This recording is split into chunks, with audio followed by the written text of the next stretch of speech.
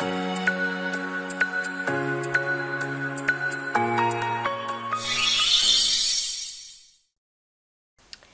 い、こんにちは、レトスノーノです。12月29日の3問に入る前に、今回お客様からご質問いただいた内容を共有させていただきたいと思います。これはホームページをご覧いただいた方からのご質問です。勉強して覚えたことも、時間が経つと記憶が曖昧になってしまいます。どうしたらいいですか？まあ、こういったご質問だったんですね。このようなお悩みを持っている方っていうのは、この方だけではないと思います。受験生の多くの方が抱えている悩みだと思います。そしてこれについては対策を4つお伝えいたします。ぜひ参考にしてみてください。で、この4つの対策については、別途動画作成いたしましたので、この動画の下の概要欄に URL 貼っときます。またですね、こちらのお知らせボタンにも出るようにしておきますので、そちらからご確認いただければと思います。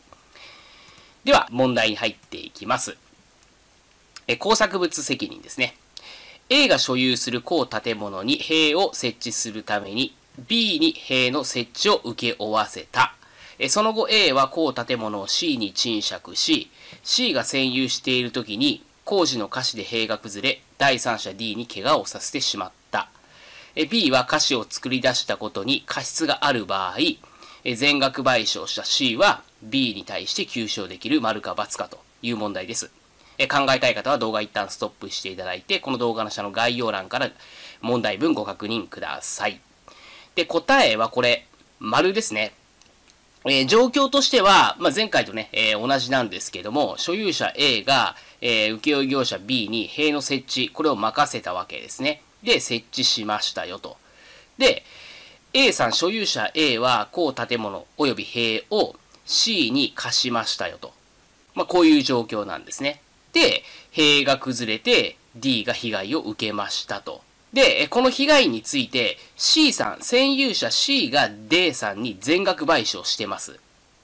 で、この請負業者 B っていうのは、歌詞を作り出したことに過失があるって話なんですね。B さん過失あります。このような場合、賠償した C さんっていうのは B さんに対して求償することができるんですね。つまり、お金を払った賠償したから、その分払ってくださいね。B さんが歌詞を作り出したってことは B さんが結局は悪いわけですよね。だから、賠償した C さんは B さんに対して、後で請求することができますよ、ということです。なので、丸になるということですね。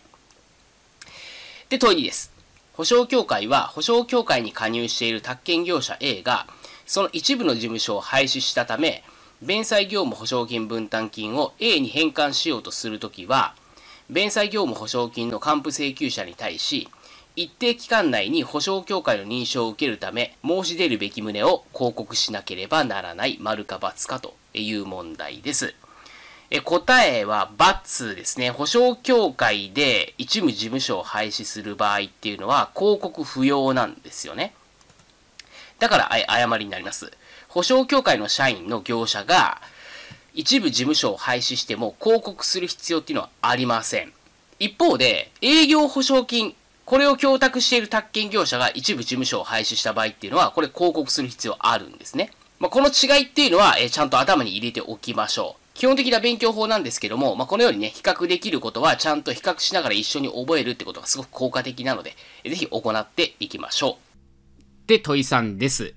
宅地造成等工事規制区域内において、切戸であって、当該切戸をする土地の面積が400平米で、かつ高さ1メートルの崖を生ずることとなるものに関する工事を行う場合には、都市計画法第29条第1項または第2項の許可を受けて行われる当該許可の内容に適合した工事を除き、都道府県知事の許可を受けなければならない、丸か×かという問題です。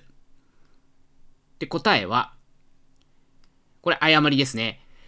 切り戸の場合、切り戸をした結果、高さが2メートルを超える崖を生ずる場合、切り戸をする土地の面積が500平米を超える場合、どちらか一方を満たすと、造成工事とみなされ、許可が必要となってきます。で、今回の問題ではどちらも満たしていないんですよね。高さは1メートル、面積は400平米。どちらも満たしていません。よって、宅地造成工事の許可は不要です。今回の問題で言うと、この場合、許可を受けなければならない、つまり許可必要っていうふうに原則言ってるわけですね。なので、誤りとなります。